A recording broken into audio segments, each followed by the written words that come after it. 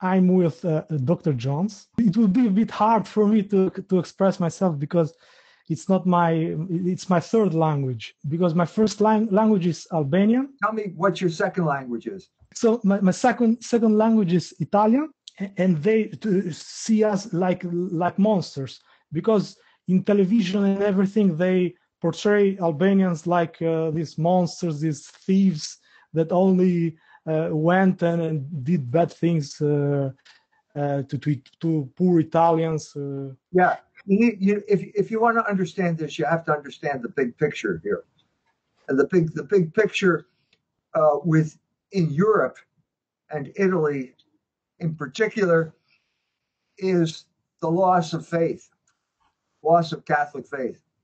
This happened over a period of uh, ever since World War II. It's largely the result of United States imperialism. If you want historical background for Italy, uh, I recommend uh, a film by Federico Fellini called La Dolce Vita. Yes. This film came out in 1960, uh, which is the same year that Cardinal Ottaviani called the Second Vatican Council for the Catholic Church. So I think that both Ottaviani and Fellini are reacting to the same problem. And the problem here is America. It's the United States of America and its influence on traditional Italian culture had a huge influence. So you have the uh, the image of uh, the conflict in the movie between uh, uh, Marcello Mastroianni plays a journalist, and he's got an Italian girlfriend, and the Italian girlfriend looks Italian, you know, and uh, she's going to she wants to become his wife, and she wants to cook pasta for him. because that's what your Italian wife does. She cooks pasta and she creates a home for you. But he's a journalist, and suddenly Anita Ekberg shows up. Anita Ekberg is a Swedish lady. She's a Swedish actress, uh, but she's got blonde hair, and she's really she's really Jayne Mansfield. Jayne Mansfield was a famous American actress who came to Italy because a lot of Americans came to Italy during this period of time because labor was cheaper in Italy than it was in Hollywood. And uh, Hollywood was in a position where they had to compete with television. And there were two ways they could compete with television nudity, okay, having a woman take off her clothes, and huge spectacles, big movies that you couldn't put on a television screen. so, movies like Ben Hur, for example. And so, uh, a lot of American influence came over to Italy and here's Marcello, and he's looking at Anita Ekberg, and he kind of falls in love with Anita Ekberg. But he falls in love with the image of Anita Ekberg, which is the American movie star, the blonde American movie star with large breasts. So Anita Ekberg says at one point, uh, they're saying, the, the reporters are saying to Anita Ekberg, How did you get the role, Sylvia? And she says, she holds up her breast and she says, Because I have a big talent. So this is this is what's this is what's going on now. In, in a more serious vein, Cardinal Ottaviani is saying the seeing the same thing going on. It, traditional Italian Catholic culture is being corrupted by American imperialism, cultural imperialism, and he wants to do something about it. So he calls the Second Vatican Council, and you can read about this in the the uh, the documents of Vatican II, the preliminary documents which he wrote or were written under his supervision and they warn about the American corruption of morals. Now, I just did an article. I just came back from Bavaria. I was in Bavaria in October and I gave a speech there. I lived in Germany. I speak fluent German. And I went hiking in the mountains and suddenly I realized uh, Bavaria was subject to the same type of pressure that Italy was, except it was much worse in Bavaria because they were Germans, and uh, the United States wanted to punish the Germans for their role in World War II. They punished them more than they did the Italians, even though they were aligned with the Italians. Yeah. So what what this is what this was called? What is the name of this? The name that you need to know is social engineering. Yes. No. Social engineering means we are going to secretly control your thoughts Uh, it's also called psychological warfare. And it was imposed on Italy. And Italy did not know, the Catholic Church did not know what was going on because they thought that America was their friend. And why did they think America was their friend? Because America opposed communism. And so anybody who opposed communism naturally had to ally itself with America. So what happened in Italy and in Germany during the period of time that we're talking about? They had uh, a large amount of economic prosperity, especially in Germany. And their moral, they lost their sexual morals. Their sexual morals were corrupted. This is precisely what Cardinal Ottaviani was worried about. This is precisely what Fellini is talking about in La Dolce Vita, and this is exactly what happened.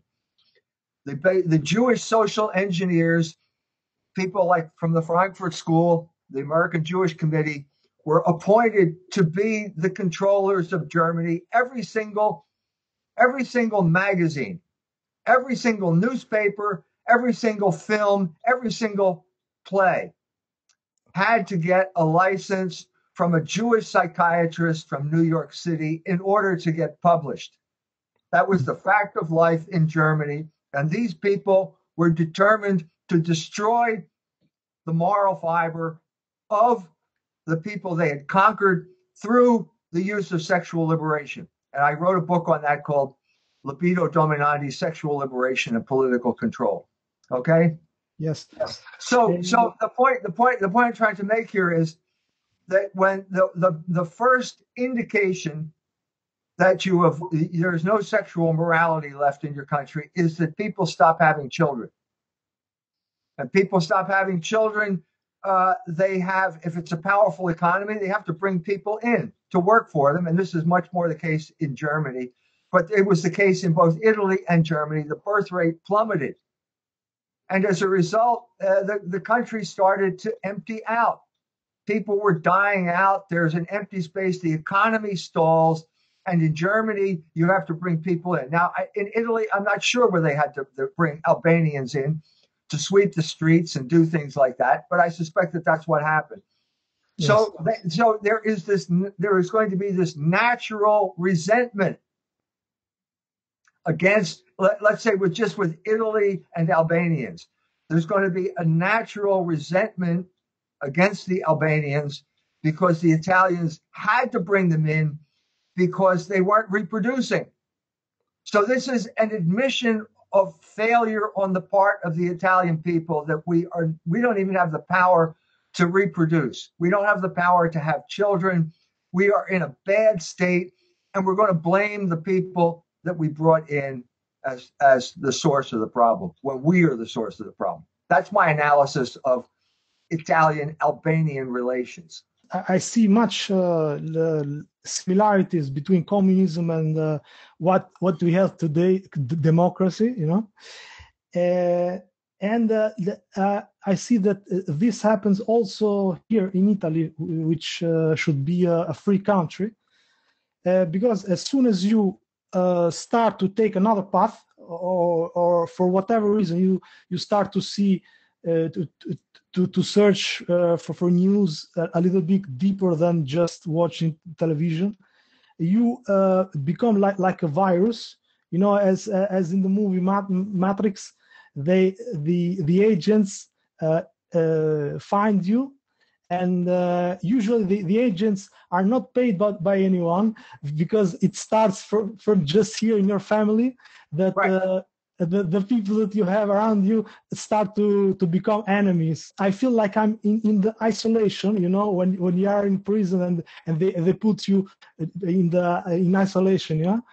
And uh, this is uh, this is how I feel now. And uh, you do, I don't know if you you might uh, no, here in Rome there is a, a famous uh, prison called uh, Rebibbia, and uh, and I and I, I live right next to, to the prison, you know, and uh, sometimes one in Trastevere. What? Is that in Trastevere? Ah, no, th- that one is. Uh, uh, I, I forgot the name right now, but it's another one which is uh, in Via Tiburtina, uh, and uh, it's it's where the the friend of uh, Berlusconi is still here, uh, Marcello Dell'Utri, the the mafia uh, that had mafia connection and uh, and uh, you know it was he was friend of uh, of Berlusconi, you know. I don't know. ah, of course, I, I wanted to talk also of this aspect of the mafia and how important it is here in Italy, because I think the, the way uh, the, in communism, for example, they uh, it, it was like the violence that they used to, to the people. It was overt. anybody could see that they, you know, grab you and put you to, to jail or or or if you uh, say in the streets for example you know we don't have anything to eat it, was called like it, was seen as, as if you were attacking uh, the party you know and, yeah. so you could end up or killed or, or in uh, some prison uh, in, in, the middle of the mountains you know? People you know could see that uh, the system was very violent. Uh, but here uh, they made it in a way that people do not understand that the system is also violent this one.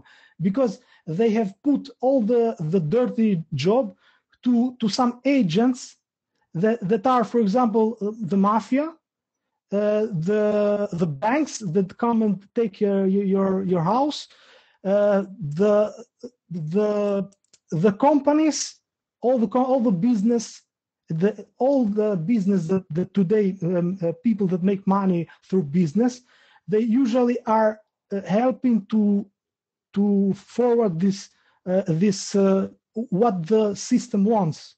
So in other words, I'm saying that they are using all, uh, all kinds of agents to, to do the same thing that they did in communism.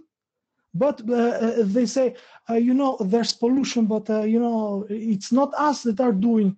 Uh, we are fighting for this. You you can't blame, for example, the system because they say, you know, there's this guy that had this company did this, or for example, if the mafia kills someone, for example, people, for example, don't know that here in Italy we we we have this uh, coercion that the mafia does to, to people, especially in the south, where there is what, what, what they call here in Italian pizzo, which is like pizza but with the o uh, uh, at the end, which is the, the, the, mafia goes to to someone who which has a shop a, a business and they say if you want to to live you have to give me a portion of your profit every month for example no?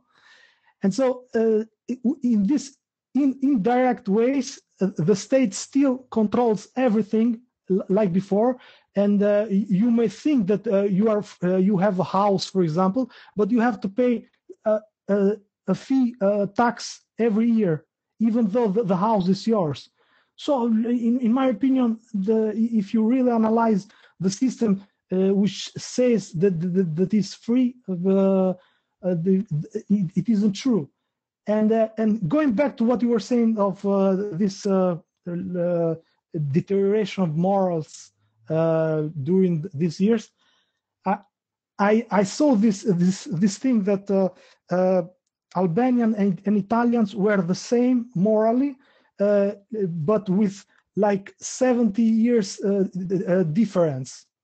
I mean, until communism lasted in, in, in Albania, the, the, morals were, were fine. But here in Italy, the, the morals started to to to de, to degrade uh, during the 60s 50s 60s you know uh, and so uh, many times, for example, I see myself talking to old people and, and being more uh, more in line, and uh, it's more uh, enjoying to talk with them instead of uh, people uh, of, of my age. I'm 37 years old.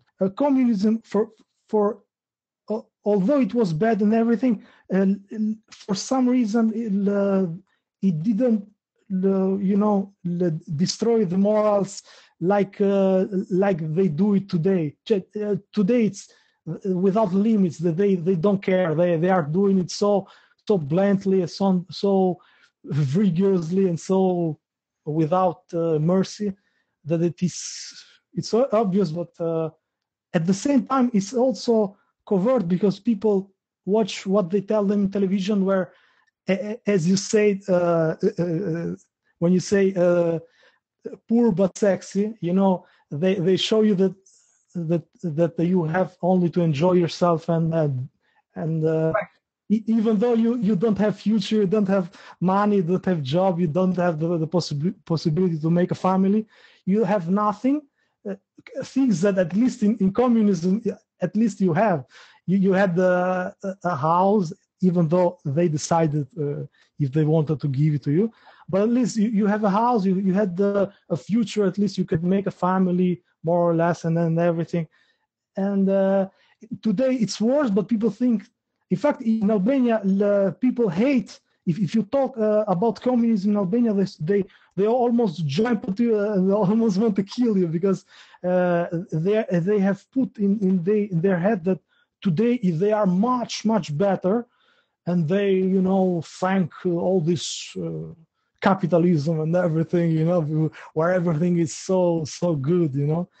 But if it really was good, Albanians would, would return uh, back in, in, the, in, their, in their land. But right. they, don't, they don't do it. They, they, we still live, I live in Italy, even though I, I'm not uh, loved here, you know. Loved, uh, I don't mean people are mean to me, but in, in some, uh, in some way, uh, you feel it. Because sometimes for people it's hard even when you just change home and, and stay in the same country it's hard you know uh, right. imagine when you change a complete culture and everything it's very traumatic i understand this because i was subject to this myself uh, when i was growing up in philadelphia after world war ii the big foundations like the ford foundation orchestrated a huge movement of the black population uh, from places in the south the southern united states where these people were involved in agricultural labor, picking cotton and stuff like that, into the big cities of the north. The purpose of this was to destroy Catholic ethnic neighborhoods, which is where I lived as a child. The neighborhood, the parish I lived in was an Irish parish. It was in North Philadelphia. And in 1954, the black people uh, from South Carolina, North Carolina crossed started buying houses north of Lehigh Avenue in Philadelphia. And that created panic among the Irish, and they all moved out. And that was the end of the Irish ethnic neighborhood. Now, those people in that neighborhood consider themselves Irish, or in other neighborhoods, they consider themselves Italian or Polish. Or these are the main ethnic European ethnic groups. When they were driven out of their neighborhoods, they went to the suburbs, and at that point, they became white. They became white people, which is a, a, way of saying they don't know who they are. They don't know where their roots are anymore. They don't speak Polish anymore. They intermarry. And, and this caused a, a crisis in the Catholic faith as well, because the ethnic parish and ethnic culture, Polish culture, whatever it was, was the vehicle where you tra- whereby you transmitted the faith. That was the language that the people still spoke. So the point I'm trying to make here, from your point of view, is that the conflict, as people perceived it during the 50s and 60s, was perceived as black versus white. Well, I told my friend, uh, lady uh, Cynthia McKinney, that I just met recently. She was a, a black uh, congressman from uh, Georgia. She was elected to the Congress of the United States, and she got run out of office because she refused to sign the pledge for AIPAC, which is the Israel lobby in the United States. I said to her, the black people were the first proxy warriors. They were proxy warriors long before the Mujahideen were created in Afghanistan to drive the Russians out of Afghanistan. Okay? It's, it's, they were the like, first proxy warriors, and the natural inclination is to focus on black people and say, uh, I'm white and you're black, and there's a conflict because you're pushing me out of my neighborhood and we're going to engage in this kind of struggle. What, what, what we need to do is step back from this conflict and say, who's orchestrating this? Okay, you mentioned that already. You know, you don't have a job, but you can go to the gay disco and forget about your troubles and dance away all your troubles. That's the social engineering.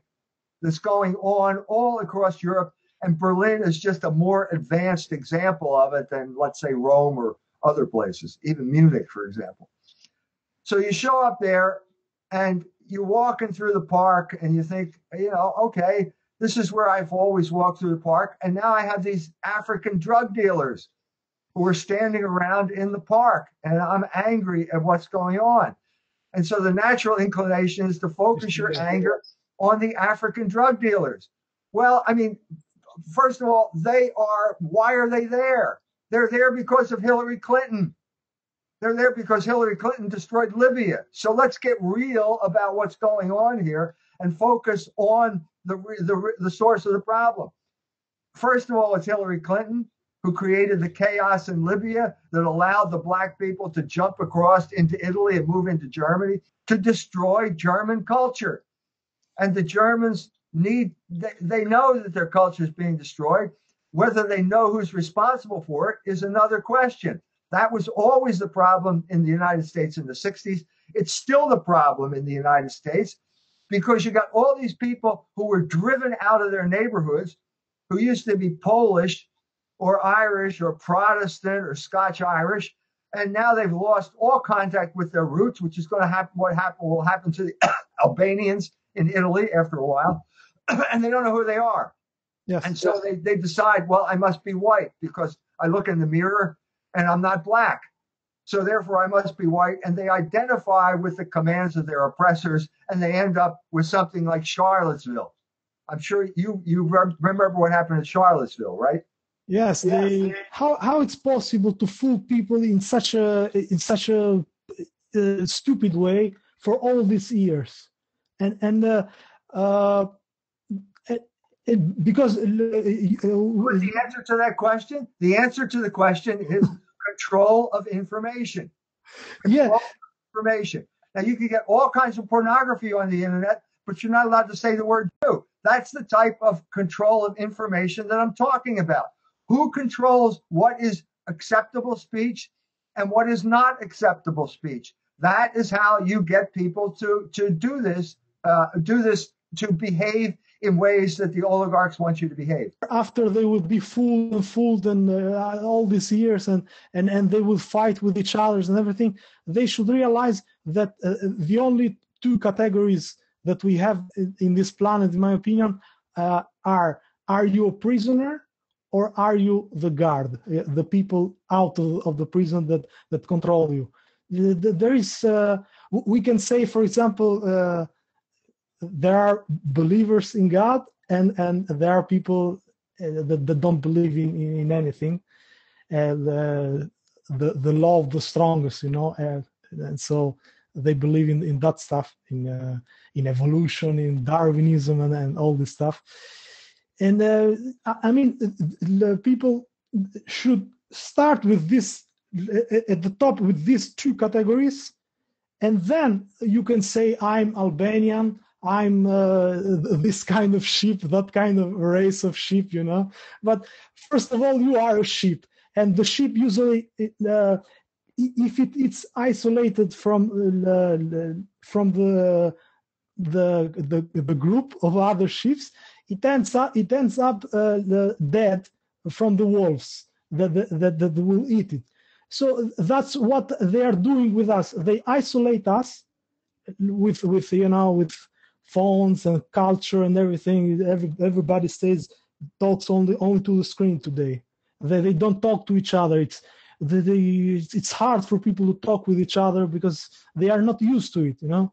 Uh, they have relationship with, with screens today.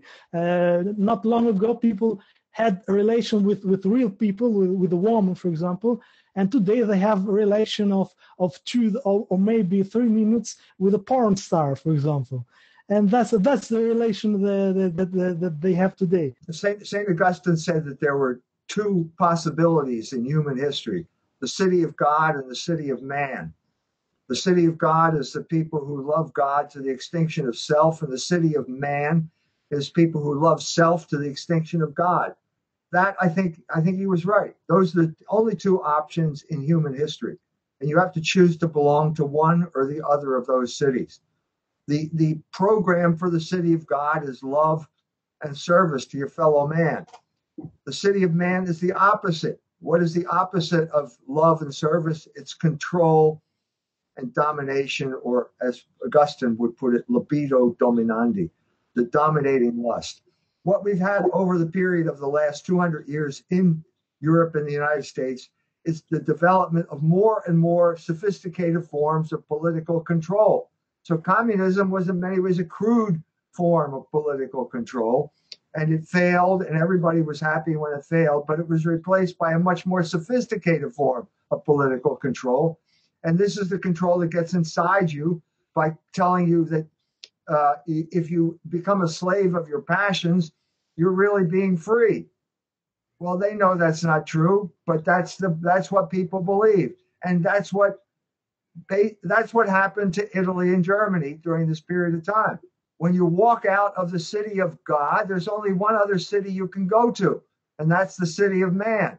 There's no third option here. The result is demographic collapse. The result is weakness. And now they feel that immigration is going to finish off the last of their culture and they're not happy. And the problem is that they will oftentimes, as we did in, in Philadelphia, blame the proxy warriors instead of the people the proxy warriors are working for. That's the problem. And what we need is consciousness across the board uh, to allow people to understand who is really in charge and the plan they are using to enslave all of us.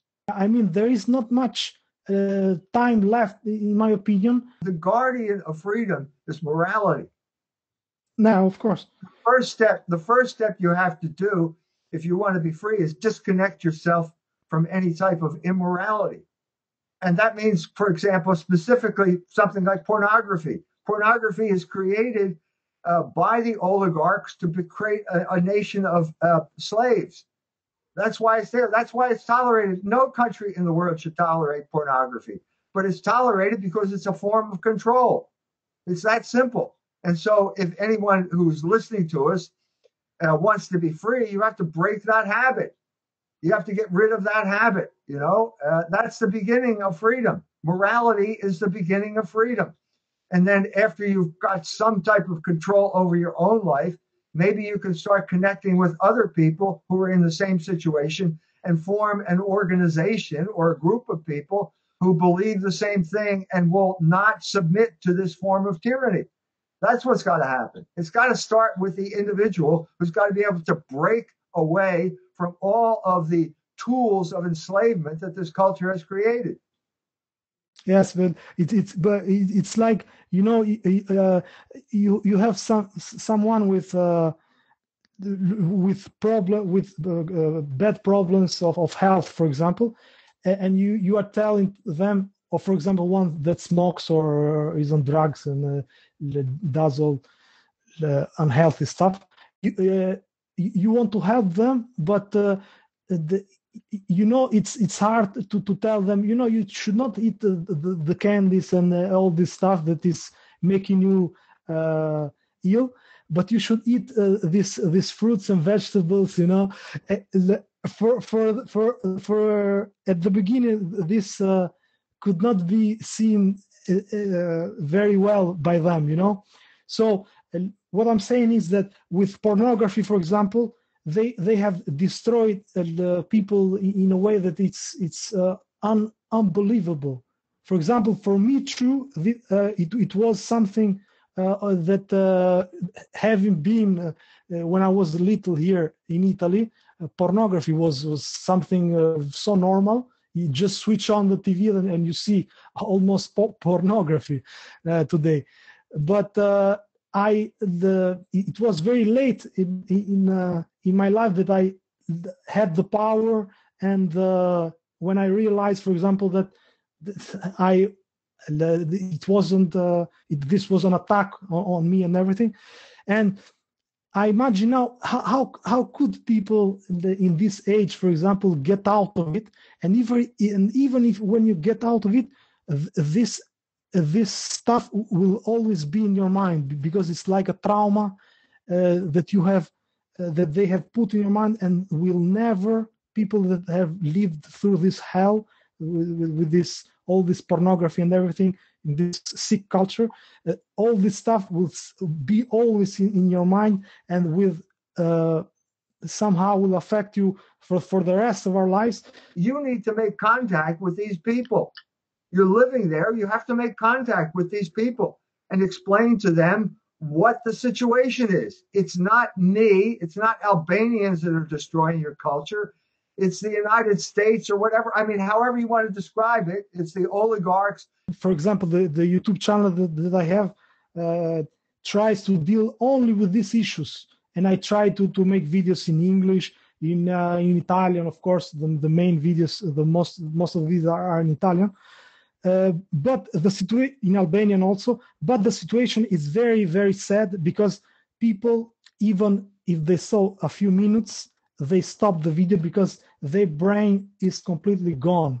They they they, they it's it's uh, the the situation is it's it's really bad in my opinion uh, but uh, but but of course, I I will never. Uh, in fact, I didn't want to say this because I know that I should be positive because being negative it's it's it's useless. I mean, uh, you can't do this. You can't do this without God's help. Yeah, in fact, in fact, I I I, I remember you said two options are the city of God and the city of man. And if you're a member of the city of God, you have to ask God for his help because otherwise there's it's it is hopeless. Without God, the situation is hopeless. Yes. Hey, Dr. Jones, uh, uh, thank you very much for, for your time. And uh, it, it, was, uh, you know, I, I hope that uh, this other view of of, uh, of my experience here in Italy maybe gave to to to this five percent of people that still have the brain uh, a, a, way to to to decode uh, to uh, decipher the the world the, around us hopefully. I hope so too. Thank you. Thank you for having me on. Okay. I've enjoyed our conversation. Thank you